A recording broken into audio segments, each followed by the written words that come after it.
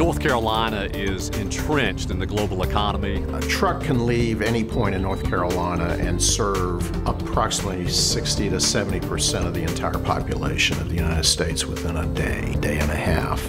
We're proud to be first in flight and in every aspect of supply chain management. You heard the old cliche that uh, our people are our most important asset. That's absolutely true.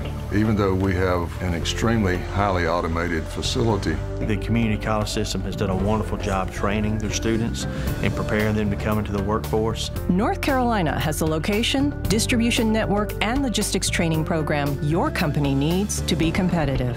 There's plenty of business, there's plenty of opportunities, there's nowhere else that I'd rather be. Learn more at nccommunitycolleges.edu.